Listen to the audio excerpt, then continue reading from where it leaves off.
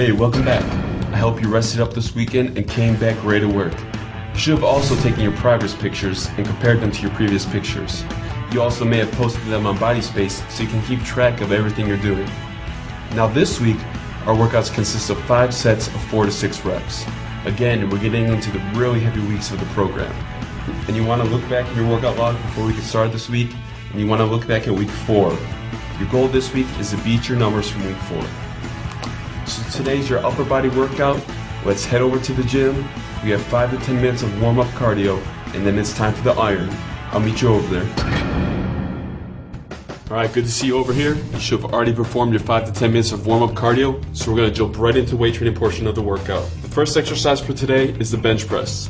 You're gonna start with your two warm up sets of 10 to 15 reps. Now, this week, we're doing five sets of four to six reps. This means you should be able to complete at least four reps, but no more than six reps. If you can complete more than six reps, you need to increase the weight for the next set. If you can't complete four reps, then the weight is too heavy and you need to decrease it for the next sets. We're starting to reach the really heavy part in this program again. Now that you've completed your two warm-up sets, let's move on to your five sets of four to six reps. Five sets of four to six reps is going to be very challenging, so be sure to stay focused throughout the entire workout. This is week 10, so your form on bench press should be about perfect by now. If you don't feel like your form is perfect yet, be sure to watch what Rob is doing and follow his example. After this workout, there's only two more Monday workouts left. So be sure to give it your all throughout this entire workout. Alright, you completed your five sets of four to six reps, so let's put all the weights back and record your performance in your workout journal. This week, we're going to compare your performance to week four.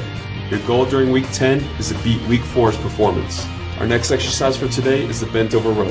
The bent over row is a heavy compound exercise that targets the back. Start off with your two warm up sets of 10 to 15 reps. Now that your warm up sets are completed, add weight to the bar and get ready for your five sets of four to six reps. Again, five sets is going to be hard, but you need to push through it.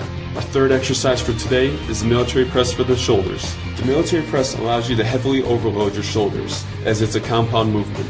A compound movement is an exercise that involves multiple joints, while an isolation movement is an exercise that involves only one joint. With the military press, you're moving at both the shoulder joint and the elbow joint. Let's start off with your two warm-up sets of 10 to 15 reps. Now that you've completed your warm-up sets, let's add some weight to the bar and start in on your five sets of four to six reps. Be sure to maintain proper form throughout these heavy sets.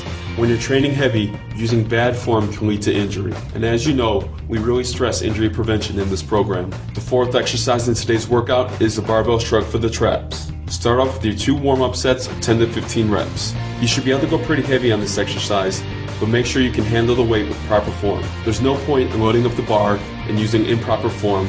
Using improper form on the barbell shrugs takes the tension off of the traps. Once you complete your two warm-up sets of 10 to 15 reps, let's add some weight and move on to our five sets of four to six reps. The fifth exercise for today is the close grip bench press for the triceps. Again, since we're going heavy this week, it's vital that you use proper form. Let's start off the close grip bench press with your two warm-up sets of 10 to 15 reps. After you complete your warm-up sets, let's start into your five sets of four to six reps. Focus on keeping your elbows close to your side during each and every rep. Doing this ensures that you fully stimulate the triceps. Our final exercise of the day is the barbell curls for the biceps. Since the barbell curls are a single joint movement, you really need to focus on using proper form. When going heavy on a single joint movement, using proper form is essential to injury prevention. Let's start off with your two warm-up sets of 10 to 15 reps. Now that you've completed your two warm-up sets, let's add some weight to the bar, and remember, use proper form during these five sets of four to six reps. The barbell curl is the king of exercises when it comes to building up big biceps. Oftentimes, this will lead to people using too much weight and improper form. Since we know the barbell curl is so important to bicep development, we're going to focus on using a weight we can handle and proper form. All right, you finished up today's workout. Let's take a look back at your workout journal and compare your performance from this week, week 10, to your performance from week 4. Your goal was to beat your performance on week 4. Let's see if you accomplished your goal. If you accomplished your goal, great. Keep doing what you're doing for the rest of this week.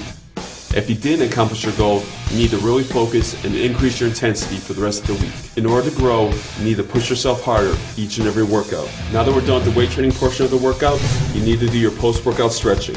Be sure to stretch your chest, back, shoulders, traps, triceps, and biceps. Once you're finished with your stretching, let's head back over to my office and we'll discuss today. I'll see you back in my office.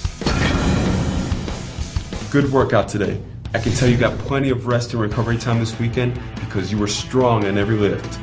Beat week four's numbers, and that was our goal for the workout.